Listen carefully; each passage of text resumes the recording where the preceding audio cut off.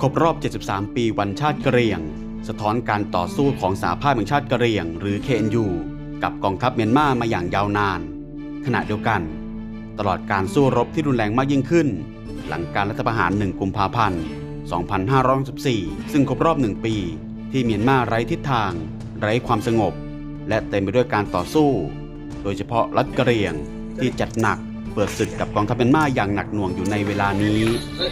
บรรยากาศการจัดงานวันชาติกะเหรี่ยงครบรอบ 73 ปีในปีนี้ ถือว่าได้สะท้อนความแตกแยกของเหล่าแกนนำได้อย่างชัดเจน เพราะผู้นำกองกำลังแต่ละกลุ่ม ต่างจัดวันชาติในฐานบัญชาการกองพลแต่ละแห่ง ไม่มีการจัดใหญ่รวมเหล่าผู้นำเหมือนในช่วง 10 ปีที่ผ่านมา อาจจะด้วยสถานการณ์การสู้รบ โควิด หรือปมความขัดแย้ง ขณะที่พลโทเนนาเมีย อดีตผู้บัญชาการองค์กรป้องกันแห่งชาติกระเรียงหรือ KNDO ร่วมพิธีลำลึกวันชาติกับเหล่าขุนทหารในกองพล 6 และถือเป็นการปรากฏตัวครั้งแรก หลังถูกคำสั่งปลดจากตำแหน่งผู้นำกองกำลัง จากเหตุการณ์สังหารหมู่ 25 ราย ในแคมป์ก่อสร้างเมื่อปี 2514 เช่นเดียวกันกับกองพล 5 และกองพล 7 จัดแยกลำลึกวันชาติกะเหรี่ยง ประเด็นทั้งหมดนี้เป็นอย่างไร วันนี้เรามาติดตามกันครับ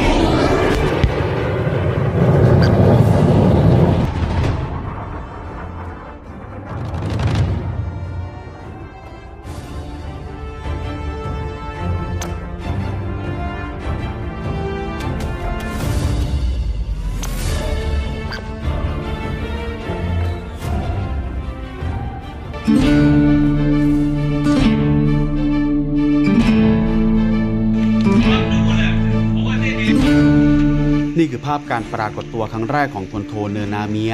อดีตผู้บัญชาการกองกำลังป้องกันแห่งชาติกะเหรี่ยงหรือ KNDO นำกองกำลัง KNDO จัดการสวนสนามแสดงสัญญานุภาพ ครบรอบ 73 ปี วันปฏิวัติ KNU ประกาศอิสรภาพ เพื่อชนชาติชาวกะเหรี่ยง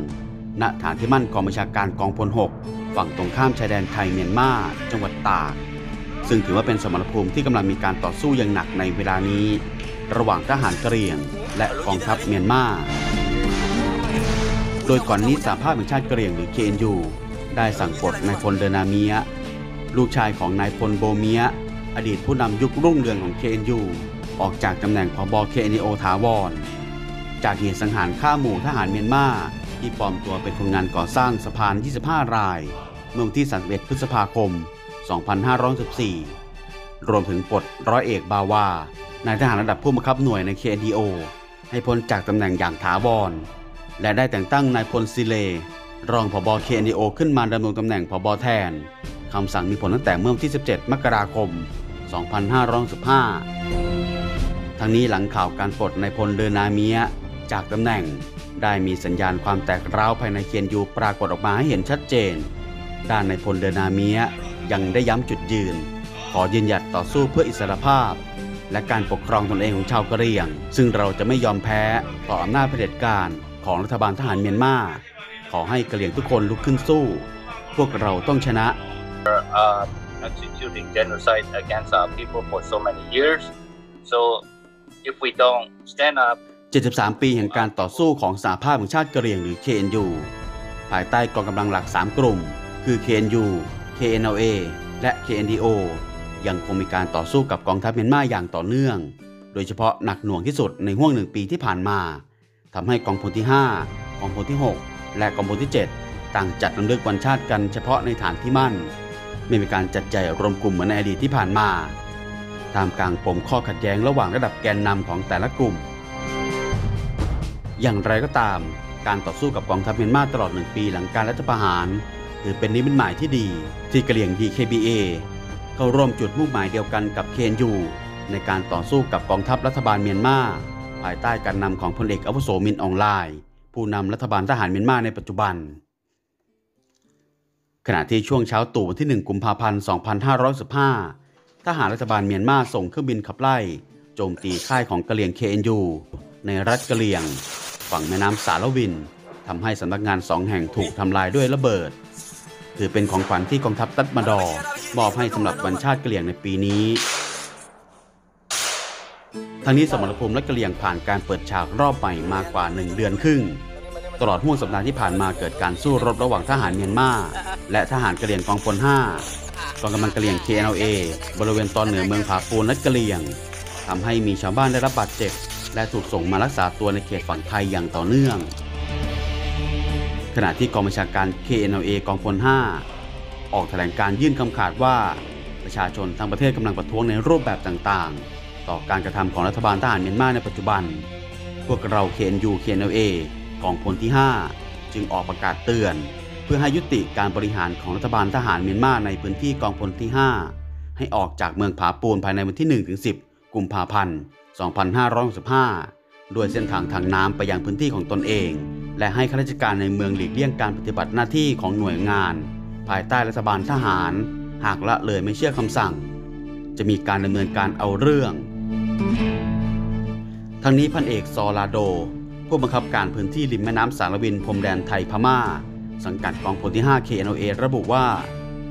พื้นที่กองพลที่ 5 และเขตใกล้เคียงสู้รบกับกองทัพพม่าอยู่ตลอด ซึ่งทหารในพื้นที่ถือว่าอยู่ในภาวะกดดัน เพราะกองกำลังเคนอยู่ ได้ปิดเส้นทางการลำเลียงเสบียงไว้หมดแล้ว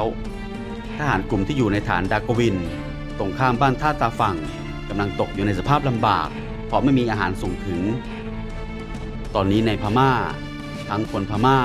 กะเหรี่ยงขชินเคเรนี ต่างลุกขึ้นมาต่อสู้ แม้แต่ชาวพม่าก็ลุกขึ้นมาสู้กับเผด็จการทหารสำหรับพื้นที่รัฐกะเหรี่ยง เขตกองพล5หากเราป้องกันไม่ได้ หากเขาชนะ พวกเขาจะส่งเครื่องบินมาโจมตี ดังนั้นหากมีประชาชนหนีภัยความตายไปยังฝั่งไทย ก็ขอให้เข้าใจ ไม่ใช่เฉพาะชาวกะเหรี่ยงที่ต้องหนี เพราะตอนนี้เราเดือดร้อนกันทั้งประเทศ ประชาชนเมียนมาทั้งหมดทั้งประเทศ ไม่เอาเผด็จการทหารแล้ว เราต้องพยายามมากกว่าเดิมเพื่อให้สำเร็จให้ได้ ให้ประชาชนได้มีสันติภาพ และได้อยู่กันอย่างสงบสุข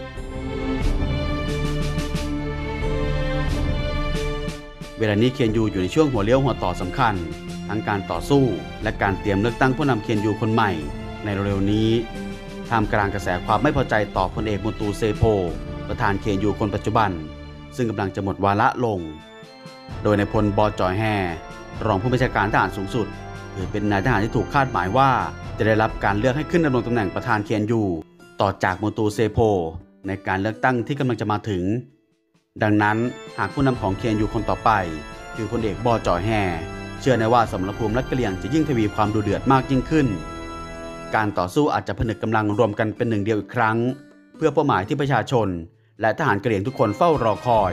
คืออาณาเขตรัฐกอซูเลที่แท้จริง